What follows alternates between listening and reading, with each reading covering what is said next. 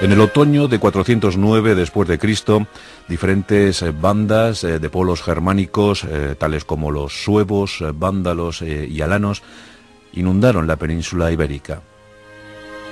Se acababa así la presencia, por lo menos nominal, del imperio romano y comenzaba una etapa oscura para nuestro país.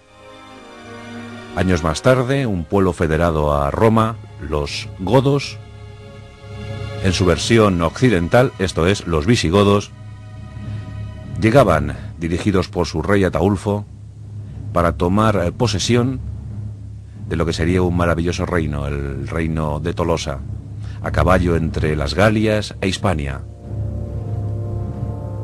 Era el inicio para una etapa, una etapa difícil, cruel, fértil en algunos puntos, era el inicio para el predominio de los visigodos en Hispania. Desde Ataulfo hasta Rodrigo, 300 años, 300 años de historia. Guerras eh, tremendas, fratricidas, despiadadas. De los 33 reyes godos que dominaron Hispania, más de la mitad murieron asesinados. Y es que era francamente difícil tomar posesión de un lugar, de una península, en la que la mayoría de los habitantes, unos cuatro millones, eran de religión católica. Los hispanos romanos tenían sus creencias muy arraigadas, muy firmes, y no estaban dispuestos a desprenderse de ellas. En contraposición a los hispanos romanos, a la creencia, a la fe de los hispanos romanos, estaba el arrianismo de los godos, los godos eran minoría en aquel país, apenas 200.000 fueron los que llegaron en el año 414. El arrianismo era una corriente herética del cristianismo que negaba la divinidad de Cristo. Y durante muchos años, durante decenios, se litigó por esta causa religiosa. Los gobernantes visigodos vivían a espaldas de su pueblo aunque algunos eh, códigos legislativos, tal fue el caso del Código de Eurico, intentaron esclarecer, poner un poquito de luz en este galimatías religioso y político. Finalmente, en el siglo VI, la cuestión religiosa quedó disipada, pero antes hubo un enfrentamiento cruel entre padre e hijo.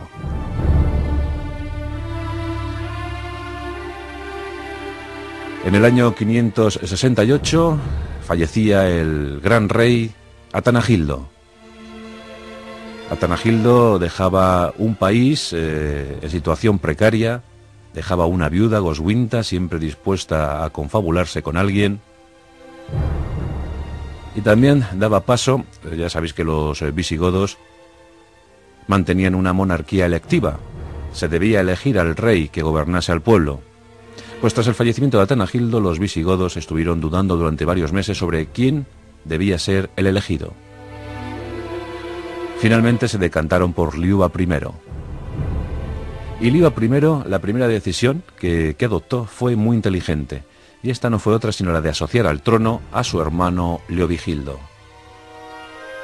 Leovigildo era un brillante militar, un gran estratega, un hombre muy lúcido. Durante cuatro años, los dos hermanos gobernaron con mano firme el reino visigodo.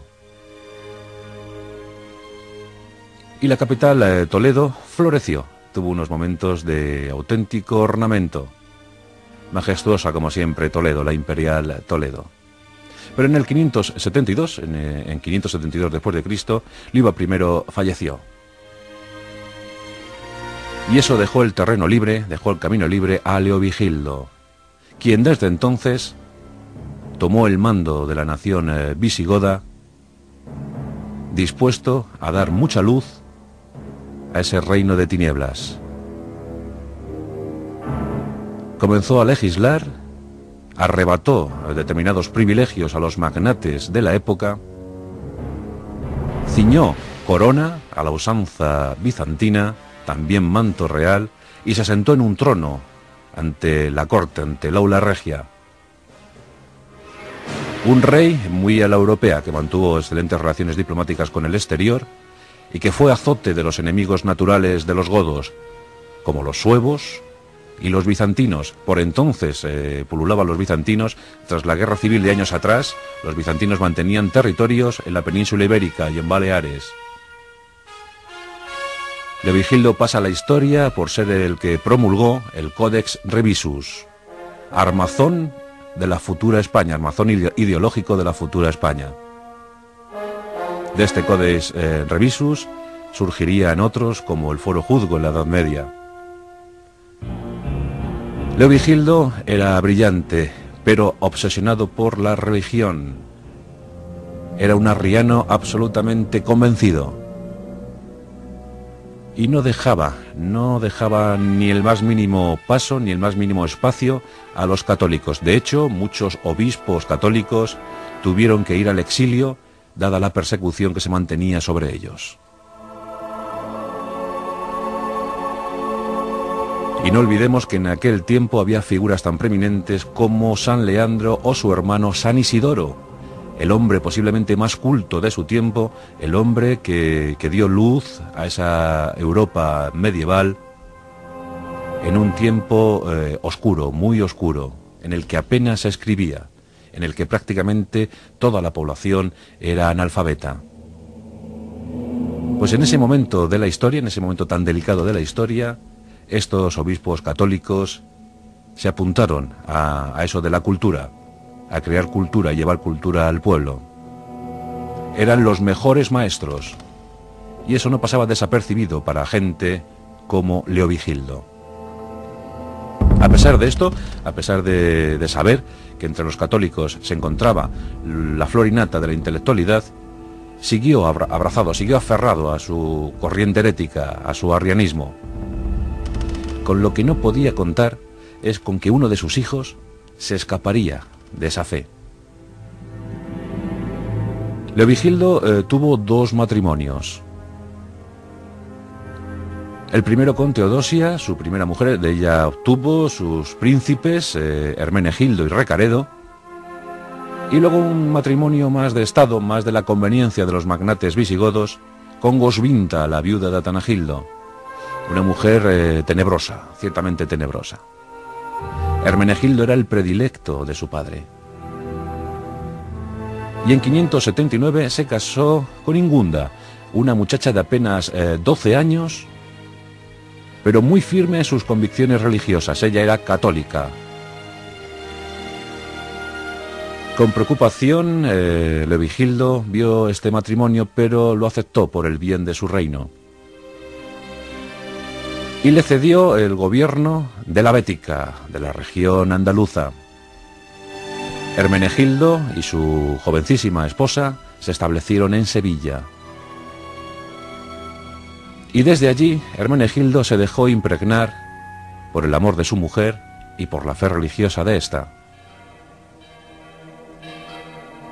Mientras tanto, Leovigildo seguía eh, gobernando su reino con las miras puestas en el reino suevo, en el reino gallego, y pensando en expulsar a los bizantinos de forma definitiva de la península ibérica. Quería la unidad peninsular y también quería la unidad religiosa para su pueblo. Pero la discrepancia llegó desde Sevilla. En 581 después de Cristo, Hermenegildo se entrega a la fe católica, abjura del arrianismo. La noticia llega como un impacto feroz a la capital toledana. Leovigildo no puede consentir que uno de sus hijos, su hijo preferido, se le suba a las barbas. Que mientras que él defiende el arrianismo, con tremenda convicción, su hijo desde el sur proclame su catolicismo e incluso se proclame rey de la Bética, acuñando moneda y declarándose independiente del dominio de su padre. Estalla la guerra. La guerra civil se adueña de buena parte de la península ibérica. Durante cuatro años, padre e hijo luchan. Bien es cierto que las fuerzas militares de Hermenegildo no eran suficientes para una ofensiva total sobre Toledo, y que en estos cuatro años, poco más o menos que se dedicó a permanecer a la defensiva. Contaba con aliados, aliados eh, encarnados en suevos y bizantinos. Pero la mole bélica de los visigodos toledanos era abrumadoramente superior. Y eh, al poco tiempo, eh, la capital eh, de la Bética, Sevilla, ya que había sido rodeada por las tropas de Leovigildo. Durante dos años, Sevilla fue sometida a un tremendo y feroz asedio, implacable asedio. Finalmente, los bizantinos y los suevos se desplazan, se, se desconectan de aquella guerra, incluso los suevos perdieron a uno de sus reyes, y fue una causa fatal porque en 585 el reino suevo abandonaba 176 años de independencia para integrarse en la nación visigoda. La guerra entre Hermenegildo y Leovigildo fue causa clara para la disolución del reino suevo. Así es la historia de Caprichosa. Los bizantinos perdieron muchos territorios y quedaron albergados en una estrechísima franja de territorio en, en el Mediterráneo. Leovigildo no tuvo perdón para su hijo. Hermenegildo, con una escasa tropa, con una pequeña escolta, busca refugio en Córdoba. Y a esa ciudad, a esa hermosísima ciudad, eh, van las tropas de Leovigildo y Recaredo. Recaredo habla con su hermano y le combina la rendición. Le dice que si se hinca de rodillas ante el padre, seguramente recibirá el perdón. Hermenegildo, preocupado por su situación y sobre todo por la de su mujer y sus seguidores, se rinde, se posterna ante el Padre, solicita esa clemencia, solicita perdón. Pero Leovigildo estaba demasiado enojado con aquel díscolo vástago. Le despoja de sus riquezas, de su patrimonio, incluso de sus vestimentas. Y casi como un bendigo, es enviado al presidio, a un presidio en Valencia. La guerra ha terminado. Año de 585, un año fundamental para el reino visigodo de Toledo. La anexión de los suevos, del reino suevo, la rendición de Hermenegildo y un código legislativo que uniría a todos. Por fin, la península ibérica queda bajo mando único, pero ¿qué pasó con Hermenegildo? Hermenegildo intentó buscar el apoyo de los francos, aliados también de él y de sus creencias. Escapa de Valencia, pero en Tarragona es capturado. Su captor, el conde Godo Sisberto, pide órdenes, pide instrucciones a Toledo. Y Leovigildo, en una decisión profundamente amarga y terrible, ordena la ejecución de su propio hijo. Corre el año de 586. Hermenegildo es decapitado.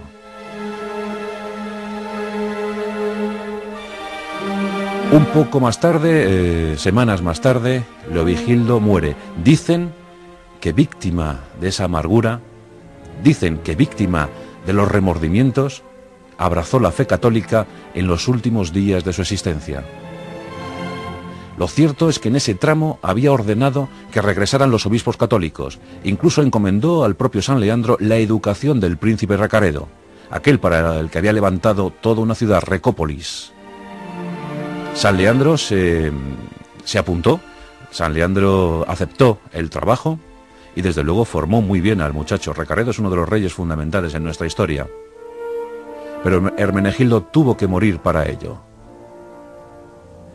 En mayo de 589 se convocaba el tercer concilio de Toledo y Recaredo ordenó en él la conversión en masa de todo el pueblo visigodo al catolicismo. Todos abjuraron del arrianismo y desde entonces el reino visigodo fue católico. En el siglo XVI, el Papa Sixto V elevó a los altares la figura de Hermenegildo, convertido ahora en santo de la Iglesia Católica. Tiene su día el 13 de abril. Uno de los enfrentamientos más terribles de nuestra historia. Leovigildo, un gran rey, pero al parecer un padre poco comprensivo. Leovigildo versus Hermenegildo. Los enemigos íntimos de la historia y sus aconteceres más peculiares, aquellos que cambiaron la faz de nuestra civilización.